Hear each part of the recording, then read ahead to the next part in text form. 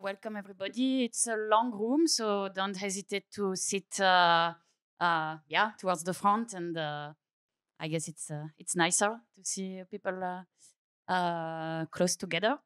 And thank you for attending this session, where I'm gonna speak, or better, I'm gonna call for working together for a more coherent integration of Eurovelo routes on OpenStreetMap. So first of all, who are we? We are uh, from the European Cyclist Federation. So European Cyclist Federation is an NGO, which is the tran- transnational coordinator of Eurovelo. Um, but it's an NGO with a very broad goal, more and better cycling for all in Europe.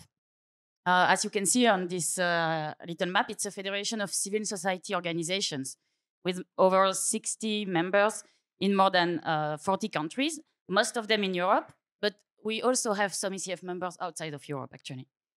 And uh, we promote cycling as a sustainable and healthy means of transportation and leisure since 1983. But here I want to focus more on Eurovelo. What is Eurovelo? I guess most of you have heard about it, but maybe not everybody. So um, it's this network. It's a network of 17 long distance cycle routes connecting 38 countries um, and spanning over two, uh, 92,000 kilometers. But Eurovelo, at the moment, it's a work in progress. The whole network is not uh, realized. It's not safe for cycling everywhere. Uh, according to the quite limited data that we have at the moment, uh, the network is developed at 66% in 2023. And uh, that includes 37% of the network signed with Eurovelo signs in 24 countries. So I put here the vision for Eurovelo because I want I want to tell you that Eurovelo is not only about uh, designing those uh, routes; it's also connecting to a kind of a broader goal. So the vision is for a fully developed and high quality European cycle route network, which is well connected to national, regional, and local cycle route networks and other uh, sustainable modes of transport, and driving further increases in everyday cycling and cycling tourism in line with ECF vision to improve and increase cycling across the whole of Europe. Reading it, but anyway. So it's uh, it's not only not just about uh, implementing cycle routes. Um, Eurovelo is a success story, uh, we think, because uh, in general there's a, a, big increase of uh, bike bike counts on Eurovelo, especially since uh, COVID times. a lot of people went cycling and this data is based on the um, eco counters that are placed along Eurovelo routes, plus 11% of bike count. Mm, last year, we had almost 2 million visitors on the Eurovelo website and 76,000 um, people following us on social media. I didn't check for this year, but I think it, it went up. So it's a lot of people, but um, yeah, we want to give them a bit more also. Uh, obviously, ECF is an NGO, and inside ECF, we are seven people working on Eurovelo. So we are not the ones um, going there and implementing on those routes. How we are doing this? We have an organization with a network of national Eurovelo coordination centers. It's a bit long, we call them NECCs. Uh, we have 24 at the moment. What you see in um, uh, like strong yellow is the consortiums of NEC NECCs that are as consortiums uh, gathering several organizations inside the country, sometimes governmental bodies as well. It's very good because it means there is some money to be put there. Things can uh, go a bit faster. In light yellow, it's the coordinators. It's generally only one association, and they are doing their best to uh, make things happen in those countries. They are responsible for the implementation, coordination, quality assurance, and uh, communication of Eurovelo at national level. And we work with a subsidiarity principle. This is quite important because it means uh, we cannot do anything we want. We cannot say, um, also with the data, we cannot do anything we want. We cannot take their data and, uh, and very easily put it out there. We need to, uh, yeah, they need to give us the authorization. They can decide when the route changes, uh, and um, yeah, about Eurovelo structure, so the point here is that we want we see Eurovelo routes as backbones of cycling networks. Um, that's also uh, why we, we like to work with people from all countries, because in countries where cycling levels are not very high yet, uh, Eurovelo routes can work as boosters. And uh, we encourage them to always think with a national strategy in mind, a national strategy to build the cycle network uh, in the area. Even if Eurovelo routes come first, there should be uh, an action plan for more. And I want already to link a bit to OpenStreetMap here because what I find interesting uh, is that the structure of Eurovelo route on OpenStreetMap is very well connected to this uh, in a way that uh, uh, Eurovelo routes are comprised of national uh, segments, which are comprised of regional segments. So it's very easy to see this uh, structure on OpenStreetMap. Now, um, Eurovelo, if we want to develop Eurovelo to make it better, it's uh, um, yeah, it has everything to do with data. We need more data, we need better data, and we need to do something with this data. We need to be able to uh, analyze it. So what do we have in place uh, at the moment on our side of things, let's say? We have a database um, uh, uh on the Eurovelo backend, uh, but this database is very incomplete. We have data collected through a survey app um, realized in-house uh, by ECF. Um, it's very new. We have also an import module allowing to import external data if it's converted to our um, uh, our format. So uh, looking at OSM, there would be a possibility to, to import data if we keep using our own database.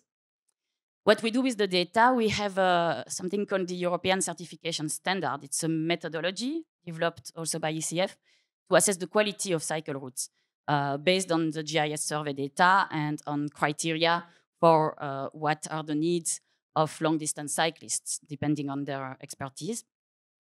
And then, since we have this network of uh, national coordinators, we have launched uh, two years ago uh, the um, Eurovelo GIS subgroup. So it's a working group to build expertise, harmonize data between countries, discuss data licenses, and so on. It's very useful because we um, have already discussed open data with them. Not everybody is on the same page in all countries. Not everybody um, uh, has talked about these topics before, but it's a, it's a great place where we can also continue discussing with them about OpenStreetMap.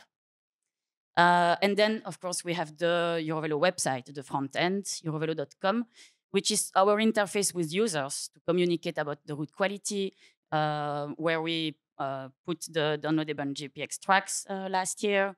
And this is where also we really want to improve because uh, at the moment, what is uh, given to users. Maybe some of you have uh, had the opportunity to check. It's not very precise. It's um, very vague categories of developed, under development. Nobody knows what's behind. And also us, sometimes we are not totally sure what's uh, behind. So uh, I'm coming to the um, core of why I'm here. Eurovelo and OpenStreetMap, why working together and um, what can we do together? So obviously, for us, it's uh, very interesting when we look at OpenStreetMap and we see a lot of potential for uh, enhancing uh, the accuracy and consistency on Eurovelo tracks, on OpenStreetMap itself, and also on all the platforms uh, that take the data directly from OpenStreetMap. So it's a, it's a way to make sure it's uh, clear for everybody. Um, we can make use of the GIS data available uh, in route quality analysis, in our communication to users, uh, also, we see it as a possible quality control tool. Obviously, there are a lot of discrepancies between the data that we receive from our partners and the data that has been mapped on the ground. Um, but we can see it in both ways. It can be, um, yeah, a, an interesting information to send to our national partners so that they check maybe they have an incomplete data. On the other hand, if we realize that they have better data because maybe there are not so many mappers in their area, um, we can also improve OSM data where we, find it. So it can go both ways. And uh, in terms of our long-term goals, uh, in, in the strategy of Eurovelo, we would like really to get this uh, network highly developed. Maybe we will even remove parts, but we would like to get it highly developed by 2030. And um, using OpenStreetMap would be a way to really um, increase the, uh, the speed in which we can do this and uh, uh, find where improvements are required um, to reach this goal. Um, how is Eurovelo in OpenStreetMap now? Uh, I just want to give you a quick uh, uh, information about this. So this is from the from the wiki because I um, I have not gotten involved in the edits and so on myself, but on the wiki, uh, Eurovelo routes in OpenStreetMap are so stored as uh, relations, more specifically super relations. There is a suggested uh, tagging, tagging system already. So um, uh, I'll let you read it. Uh, the standard practice is to create one route relation per national Eurovelo route. Uh, and in general, those are super relations themselves already because it includes the, uh, the regional segments or the local routes. Uh, and yeah, these relations are grouped together as super relations, and we have the Eurovelo root. So it's quite logical, I think. It seems to work. Um, so yeah, this is a little uh, uh, tree, um, uh, yeah, tree structure of how it looks like. And as I was saying before, it's very interesting because it gives us a lot of information on the members of the routes uh, in when we go more local, when we uh, zoom in, and on which other routes overlap. Um, and this is also from the wiki page. I found it very interesting to see this table uh, and what is incomplete now on Eurovelo because we can see that mm, uh, it's not as if only the the non-developed parts of Eurovelo or the parts at the planning stage would be missing. Uh, we see that there are uh, non-developed parts, at least from what we know, that are on your on OpenStreetMap. For instance, Eurovelo 2 goes to Belarus. Belarus is mapped, but uh, from our information, it's not very well developed. Maybe your information is wrong also, so it's interesting. Um, also, I see here Eurovelo 11 in Hungary is uh, shown as missing. I, I, didn't check in detail, but we have information that it's developed. So it's interesting to see that it's, uh, uh, yeah, there would be a lot of, uh, of fact checking to do. And uh, finally, before opening the discussion, I wanted to just show you a bit of the issues we have, uh, um, we have noticed. So as I was saying, the suggested tagging system seems logical to me at least. Uh, so it would be interesting to look for issues. Uh, am I missing something? Um, is it problematic in, in some country or not? Also, what about super relations? We were discussing yesterday uh, in the hiking group that it can be complicated when extracting this data because for some uh, websites or apps using uh, data from OpenStreetMap, they uh, forget to or they don't know exactly how to extract the super relation data. So it's good to, to double check that. I don't know if that's exactly what's happening here, but I put these two maps because like uh, Waymarked Trails and CycloSM are the two websites that are linked from the Eurovelo wiki page. But we see it's not the same, like Norway exists on Waymarked Trail and not on, on CycloSM. Uh, there are a few other differences. So yeah, where does it come from? Why, why is it not extracted in the same way uh, everywhere? Another issue um, is where parts of Eurovelo routes are missing. So for instance, on Eurovelo 12 in uh, Denmark, um, one colleague had realized that there was a part that was existing on OpenStreetMap, but missed uh, tags to link it to Eurovelo 12. So this uh, sort of things can happen here and there. Mm, a big thing is the discrepancy between uh, OpenStreetMap and Eurovelo tracks. Uh, so for instance, uh, an example here where uh, we can see the track doesn't go in the same place. So who is correct? Is it missing an update? Or is it our national coordinators who are missing an update? Uh, is the signing somewhere else? Um, on, in Andalusia, for instance, on OpenStreetMap, the Eurovelo route forks which uh, never happens except uh, in case of reverse reverse forking themselves. But uh, so why is that? What happened? Is it also an update that has been uh, um, done, but uh, the route has uh, kept something in on OpenStreetMap, or yeah, why why is it like that? And here it's interesting also because um, yeah, I was notified that there were signs, Eurovelo signs in Paris, not following the official track. And uh, I checked a bit on OpenStreetMap and I saw it's even uh, mentioned there. So uh, Eurovelo3.fr is not in accordance with signposts within Paris. So we can actually see this kind of issue on OpenStreetMap. And this is typically the kind of information we want to um, feedback to our national coordinator. Um, but yeah, this opens up the more general question of how to deal with updates. When we have updates from our national coordinators, subsidiarity principle, we are supposed to do it. So if it doesn't correspond to OpenStreetMap, we, we need to have a process. We need to have a way uh, for this to happen um, in, a, yeah, a, structured uh, manner. And uh, yeah, another big issue that needs to yeah, be discussed, I suppose, what to do with undeveloped parts of the network, what to do with sections at the planning stage. If it's a developed section missing Eurovelo signs, I think it's easy. We can say, um, yeah, just it's Eurovelo, but it's not signed, but you can cycle on it. Okay. But when the route is just a plan, or in some countries where the route is the only, like the best possible solution available for cyclists, but still it's not really re reaching any kind of quality level. Should we map it? Should we not map it? Um, and on the other hand, I think it's good to identify sections that are so bad that they cannot be marked as cycling as cyclable on OpenStreetMap. It gives us interesting information to lobby in those countries to give our partners uh, some concrete facts to lobby with for more um, uh, yeah more money on cycling uh, and ultimately maybe to remove those parts from the network also because that's another way to reach the quality levels by uh, 2030 um, yeah, so that's it for the state, uh, current state uh, of Eurovelo on OpenStreetMap. And I want to uh, basically call for the creation of an international uh, working group, uh, OpenStreetMap Eurovelo working group, um, so that we can work together to find solutions to the issues and harmonize the inclusion of Eurovelo route on OpenStreetMap.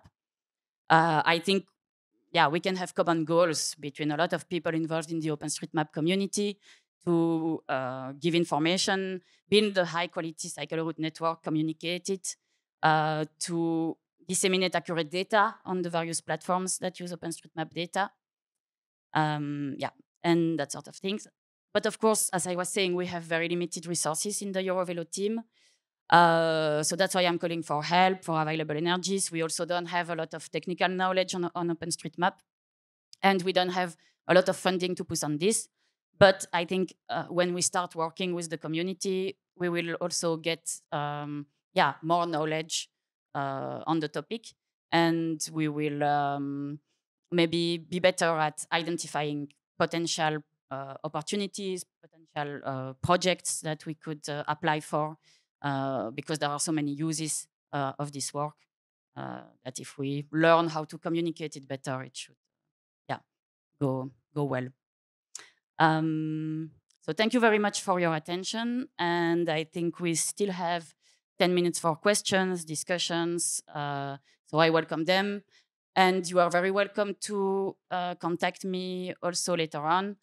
And just to inform, I think I will try next week or the week after to also put this call on um, some website with the your OpenStreetMap community. I have to. You can tell me what is the best place to start, uh, if not, I will start somewhere. Thank you.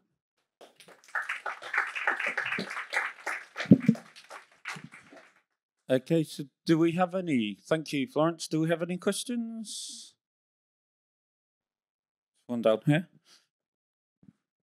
I think one, thank you for this great presentation. I was interested, especially in this one part where you say there are the routes that are not signposted uh, because I mostly do the Belgian, Swiss, and Italian routes, and it's a, a, huge difference. In Switzerland, everything is signposted, in Italy, sometimes not. And I saw that on the Eurovelo website, basically, uh, what is shown as the route is really the thing coming from OpenStreetMap. Um, it's directly implemented, I think, from Open, or at least I have that um, idea. Maybe I'm wrong. Correct. Yeah, what is shown on Eurovelo.com uh-huh. Nothing comes from OpenStreetMap at the moment. Oh, okay. Everything comes from information we have from our national coordinator. So the process is that uh, once a year, we send them all an email. We say, it's a spring clean time. Please send us your updates. And they send us your update.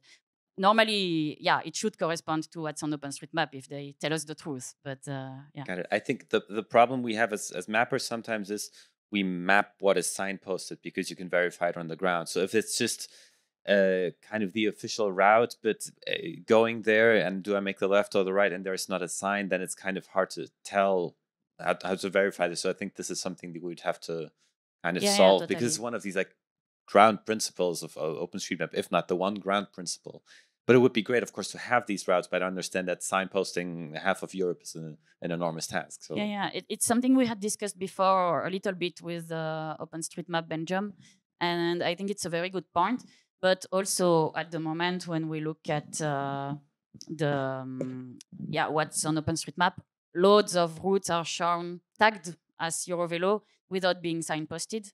So I think it's also about finding um, a clear way to uh, to map it over different countries. I, I would guess that in some countries, since the route is not signed and not developed, someone just took the the tracks from Eurovelo.com and uh, tagged it as such on your on OpenStreetMap. But uh, I don't know exactly what happened there.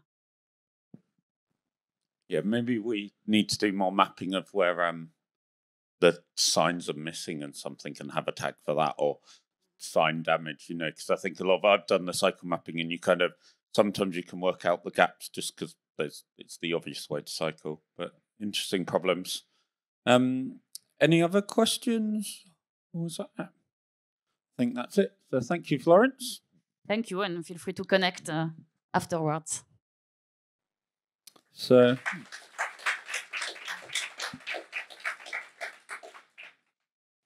we've got to. Um, I'll let um, our next speaker, Ejo, set up, and um, so we've got a few minutes. I think at the end of each talk, we've got clap well to compete with the main room that we can hear through the wall. Um, I don't know how well they hear us, um, but yeah, we've got about five minutes to set up and uh, and see if anyone comes from other talks. Oh, is that a question from online? Oh, Florence, question. I might be able to sit here. Do you know the quality assurance tool Knooppuntnet and specifically its monitor? I do not, uh, but I'm interested to take note of it. Okay. Yeah, I can you. show you the spelling and you can uh, Yeah, perfect. Thank you very much. Cool.